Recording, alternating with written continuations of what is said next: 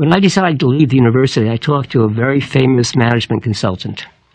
He gave me some interesting advice. He says, if you are happy in your current job, it's time to leave. And if the new job really worries you and you're not convinced that you can do it, that it's the right job.